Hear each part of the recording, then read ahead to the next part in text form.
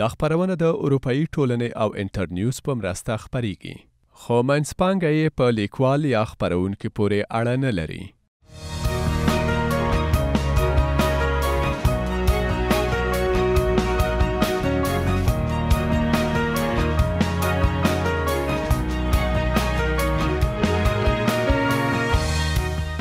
به نام خداوند بزرگ و مهربان. سلام وقت همه شما بیننده های عزیز ما در افغانستان و بیرون از کشور بخیر. خدا کنه که این هفته را با صحتمندی کامل سپری کرده باشین. باز هم در برنامه درمان مطالب جالب داریم که تقدیمتان می‌کنیم ولی در ابتدا نگاه کوتاه داریم به داشته های برنامه. ماسک روی صورت می تواند حتی در توانایی پلک برای انجام وظیفه خود اختلال ایجاد کند. مریضایی که مصاب امراض قلبی بود را همیشه توصیه ما برشانی بود که دوای قلبی خود به هیچ صورت قطع نبکنند.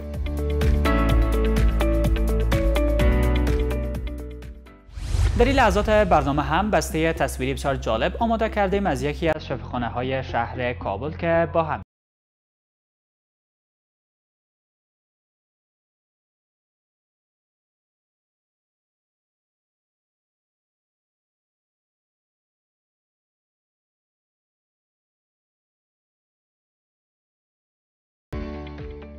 بیننده های عزیز ما در شفخانه علی جنای شهر کابل هستم. در بخش ارتوپدی و امروز قرار است که در مورد یکی از تفلکایی که مصاب به مریضی اوستیومیالایتس یا هم عفونت استخوان شدن همراه شما عزیزا شریک می سازیم که چه عوامل سبب عفونت استخوان شده بود که بالاخره مشکلات جدی را بر از تفلک پیدا بکنه و فعلا هم وضعیتش چگونه هست. در این رابطه می خواهیم که صحبت بیشتر داشته باشیم با دکتر صاحب محترم رحمت الله عظیمی متخصص امراض ارتوپدی و تروماتولوژی که موظف در شفخانه علی جنا هستند. دکتر صاحب سلام وقتتان بخیر.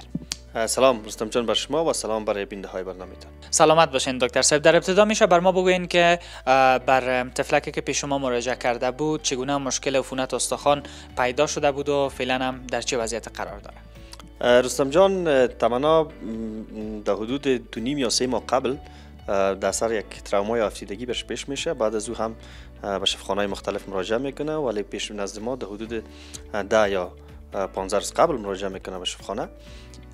و بعد از اینکه ما دیدیم مریض یک sinus افرازات چرکی داشت و با از تشخیص که X-ray از مریض گرفتیم به تشخیص osteomyelitis در بخش ارتوپدی اینا رو بستر کردیم. بسیار خوب. و osteomyelitis یک مریضی است که در ارتوپدی ما به سه category این تقسیم می‌کنیم stage که به شکل acute میشه باشه به شکل subacute باشه و به شکل chronic باشه osteomyelitis یک مریضی challenge است در بخش ارتوپدی یعنی اگر به شکل حادش باشه یا به شکل acute ش باشه زندگی مریض تهدید می‌کنه و در شکل chronic ش میشه که سبب وجود آمدن حتی معیوبیت ها در نزد مریض شه و اگر درست تداوی نشه. ولی وقتی که تمنا بر شفاخانه مراجعه کرد بعد از اینکه اکس ما از مریض از نزدشان گرفتیم به لوحه osteomyelitis در بخش ارتوپدی بستر شدن. در نزد مریض در ابتدا تب وجود داشت عرق در موجود بود و خود در ساحی که osteomyelitis موجود است در یک sinus داشتن یا مجرایی بود که چرک از اون ناحیه افراز می‌شد به طرف بیرون ما مریض بستر کردیم به شفاخانه و در نزدشان procedure عملیاتی را بعد از اینکه تشخیص شد و معایناتشان تکمیل شد در نزدشان صورت گرفت که ما مریض برای سزرایزیشن و یا هم سیکوستومی سیکوستر یا های سیایی که در ناحیه موجود بود تمامش برداشته شد بر معاینات پاتولوژیک فرستاده شد. منتها قبل از اینکه ما مریض به عملیات کاندید بکنیم عموما در نزد مریضایی که چرک باشه یا فرازات باشه بخصوص استیمیالیت ما در نزدشان کلچر یا انتیبایوگرام انتان انجام دادیم در حدود 4 روز قبل 3 روز قبل یا 4 روز قبل قبل از عملیاتشان در نزدشان culture یا antibiogram شد. بعد از اینکه تشخیص شد که میکروب زید مقابل کدام ادویه حساس رو انتخاب کردیم با کاندید عملیات شدن و در نزدشان امو procedure ه که ما debride برش میگیم یا sequestrectomy میگیم یا همون استخوان هایی که تخریب شده بود تمامشون برداشته شدن و ساحه پاکاری شد. و فعلا فضل خداوند مریض خوب است. بسیار عالی دکتر صاحب. معمولا زمانی که تفلک ها بازی می‌کنن یا هم مصروف ساعتیری خودشان می‌باشن اونا گاه اوقات مفتن از جای یا هم افکار میشن. ولی بعضا زمانی که والدینشان متوجه از این موضوع نمیشن ممکن که می حالت هم سبب ایجاد بعض التهابات در قسمت بدن کودک شود. چقدر این موضوع در قسمت تمنا جان صدق می‌کنه؟ دکتر برستم از جمله ریسک فاکتورهایی که برای خود اوستیمیالیت است یکیش هم امی طفلا هستند یعنی از نظر سن کسایی که در سن طفولیت است اینا بیشتر مساعد هستند به خاطر که ها زیادتر مساعد هستند بر تراوما و افتیدن این ها میفتن زیاد و بخصوص اکثرا در خانه نمیگنم و در نایه همتوم تشکل می‌کنه یا خون جمع میشه و یک بستر بسیار مساعد برای انتان است. یک زمینی بسیار مساعد برای میکروب و انتان است بعد از این استاستا انتان رشد می‌کنه بالاخره بعضی که برای استخوان مداخله می‌کنه و اکثرا اماتانای ما و شما در ولایات که هستن دیرتر بر دکتر مراجعه می‌کنن ولی بدبختانه در مرحله که پیش ما مراجعه کردن استخوان کاملا تخریب شده بود و تانستیم کنم استخوان پاکاری بکنیم. و در و یک از ریس فاکتورهای دیگهش هم جنسیت است که من در نزد بچه ها باید زیادتر باشه به خاطر که بچه ها زیادتر بازی می‌کنن و زیادتر فعالیت دارن. و همچنان کسایی که از نظر اقتصادی اقتصاد خوب ندارن از نظر economic اقتصادشون خوب نیست اینا کسایی هستند که بیشتر مساعد هستند برای osteomyelitis و اگر این مریضا به درستی تداوی نمیشن و به موقع تداوی نمیشن بخصوص طفلکایی که در نزدشون growth plate هنوز بسته نشده و بخصوص طفلکایی که بین دو ساله تا 16 ساله هستند می‌تونه که یک prognosis یک انذار بسیار خراب داشته باشه بخصوص در اثر تخریب یا که در growth plate میشه که growth plate تخریب بکنه و سبب کوتاهی امو طرف پای مریض شوه. دقیقاً. بسیار خراب شد دکتر صاحب فعلا وضعیت مریضی که پیش شما مراجعه کرده تمنا جان چطور است و فعلا در چه وضعیت قرار دارن؟ بهتر شده از گذشته؟ بله. فعلا تمنا بسیار خوب است. همو sinus است چرک افرازات که بود اونا رفت شده و همچون امو نمونه ای که ما گرفته بودیم از ساحه عکس کرده بودیم رو به پاتولوژی فرستادیم. فضل خدا اون نتیجهش که آمده نتیجهش بسیار خوب است. یعنی یک واقعه tumoral نیست. به خاطر که تخریبات وسیع در خود میتافیز موجود بود از خاطر ما احتمال از این می‌رفت که اگر سیترومرال باشه. ما او را گرفتیم و بایپسی کردیم و فضل خداوند فعلا بسیار خوب است. افرازات چرک چیز نداره. اشتهایش بسیار خوب شده. و فعلا از روز اول که مراجعه کرده بود بسیار خوب است و قبلا بسیار مریض مخرش بود. و بسیار خوش خوشحال است. بسیار علی دکتر صاحب. از شما داره تشکر بکنیم. به خاطر از اینکه توجه بیشتر دارین در خدمت تداوی مریضا و برخورد بسیار عالی دارین. حالا میشه پیام گفتنی داشته باشین. به هموطنان ما بخصوص به خانواده عزیزی که تفلک های زیاد دارن و چقدر مراقبتشان باید بکنن تا چی اندازه متوجهشان باشن و اگر کدام مشکل در قسمت بدنشان دیده میشه کدام زخم دیده میشه چقدر مهم است که سر وقت نزد دکتر صاحب مراجعه بکنن. خوب ما یک چیزی که فعلا جزء از یعنی از فعالیت های روزمره که بخصوص با همی بازیایی که تفلا می‌کنن و یا هم تراما یک بخش کلان امراض است فعلا. بخصوص تفلک ها وقتی که مساعد میشن یا یک ضربه می‌بینه قسمت وجودشان خوبتر است که برای آن واحد برای دکتر مراجعه شود تا تداوی خوبتر شه و از اختلاطات بعدیش که می‌تونه زمینه را برای امراض پیشرفته مثل اوستومیالایتس مساعد بسازه. شو که جلوگیری شود بسیار علی دکتر صاحب یک دنیا از شما هم تشکر می‌کنم از اینکه با ما همکاری کردین در این برنامه و در مورد وضعیت تمنا جان بر ما معلومات دادین. ان که به زودی بخیر خوب شود. و وقت خوش برتان سلامت. تشکر بخیر باش. از شما هم تشکر می‌کنم بیننده های عزیز. و فعلا می خواهیم که همراه تمنا جان صحبت بکنم. اگر خواسته باشه که همراه ما صحبت کنه که فعلا چطور است؟ تمنا جان سلام خوب هستی؟ خوب هستم. صحتت خوب است؟ خوب هستم فعلا خو پای درد نمی‌کنه. خوب است پای؟ خوب است. میگن شوخی کرده بودی افتاده بودی جای آه افتاده بودم. ساتیری می‌کردی که افتادی؟ آه. خب باز پای تبگار شد؟ آه. کی باز شب خانه آوردید؟ پدرم. پدر جانت. فعلا بیخی دیگه خوب هستی؟ درد هیچ چیز نداری؟ نه. خوش هستی؟ آه. خب بسیار خوب. با همسان و سالایت پیام داری؟ گفتنی که شوخی بکنن یا نکنن؟ شوخی نکنن زیاد که اوگار نشن نه؟ آفرین بخیر خوب شوی. تشکر. تشکر می‌کنم از تمام شما بیننده های عزیز که تا این لحظه با برنامه درمان بودین. خدا کنه که توصیه ها و گفتنی های دکتر صاحب عزیز را هم شنیده باشین و کوشش بکنین که بیشتر و زیادتر مراقب اطفال خودتان باشین و اگر کدام مشکل صحی برشان پیدا میشه حتما سر وقت در شفخانه ها نزد دکتر صاحب متخصص مراجعه بکنین. ادامه برنامه را در داخل استودیوی برنامه درمان فراموش نکنید تشکر که تا این لحظه بیننده برنامه درمان هستین. فراموش نکنین که تا لحظات بعد هم صحبت های جالب می داشته باشیم با دکتر صاحب محترم سید زکی سلطانی متخصص جراحی قلب در رابطه با تاثیرات ویروس کرونا بالای مریضانی که مصاب به امراض قلبی هستند. ای که چه مشکلاتی را می‌تونه برشان به وجود بیاره؟ پس بیننده باشین و مطالب جالبتری در این رابطه حاصل بکنید ولی در حال حاضر وقفه خیلی کوتاه. افرادی که مصاب به تکالیف قلبی هستند بیشتر مساعد هستند تا ای که مصاب به ویروس کرونا شوند. ولی که ما چطور می‌تونیم به خصوص از مریضایی که مصاب به امراض قلبی هستند حفاظت بکنیم تا مصاب به ویروس کرونا نشن؟ و ای که اگر مصاب به ویروس کرونا شوند چطور می‌تونیم که اونا را تحت تداوی بهتر قرار بدیم تا بتونن که صحتمندی خود را دوباره حاصل بکنن؟ این بحث جالب را با دکتر صاحب محترم سید زکی سلطانی متخصص جراحی قلب می داشته باشیم. دکتر صاحب سلام وقت شما بخیر بسیار خوش آمدین به برنامه. سلام خدمت شما سلام خدمت بیننده های عزیز. خوشحال هستم که در این برنامه با شما هستم. سلامت باشین دکتر صاحب.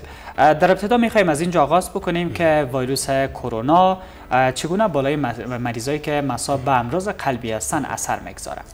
خب قسمی که به همه معلوم است ما می‌خوایم در چند جمله به شکل مختصر در مورد وظیفه و کارکرد قلب معلومات بتون. بعدش باز ما میریم سر از که چطور ویروس کرونا برای کسایی که مصاب به امراض قلبی است را زیادتر مختل می‌سازه و مشکلاتشون در میشه بحث کردیم.